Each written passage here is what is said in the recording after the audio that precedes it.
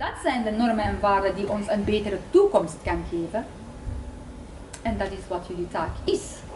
Jullie moeten dat actief doen en nooit laten. Vrijheid van meningsuiting, gelijke rechten van vrouwen en mannen, eh, secularisme, apartheid van godsdienst met staat. Dat zijn de taken van jullie om te bewaken. En dat komt niet zomaar en dat gaat ook altijd kunnen weglopen als jullie dat niet bewaken. Dus bewaak die maar, dat is je taak. En dat is niet een keuze, dat is je plicht. Jullie hebben rechten en plichten.